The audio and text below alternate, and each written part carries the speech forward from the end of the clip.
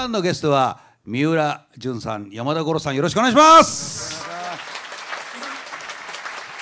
よろしくお願いします。五郎さんよろしくお願いしますはじめよろしくお願いましていたします。はじめまして。いやもう僕初めましてなんですよそうなんですよ。ええもうなぜ俺が今自分がここにいるのかよく分かってない。そんなことないでしょいやなんか三浦さんと伊藤さんの対談ですっていうから俺伊藤聖子かと思う。伊藤聖子は去年だ。去年名前が似てるっていうだけで連れてきた人だかええもう一つありますよ。24.5ですよらあそうでしたね、はい。それとあの柄シャツが一緒だっていうことだけでも。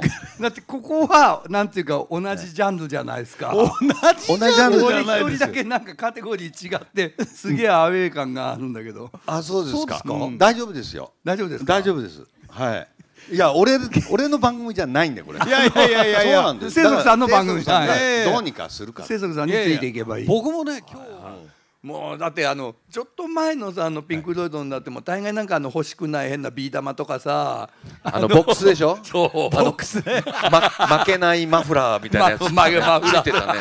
あれきついねあれ。あれきつかったわ 俺。あ子んなん供一冬越せないよあんなんじゃ。子供騙にも程があるだろう。昔の少年雑誌の付録だってもうちょっとビー玉5つぐらい入ってたね。入ってた。入ってた。だから5人では遊べるなと思ってはい。俺もうそういうさ高齢者を狙ったさボックス詐欺？もうひどいんだよ。そんなこと言ったら協力してるかもしれないから。僕もねこっちから出てる場合あるから。そんなことそんなことない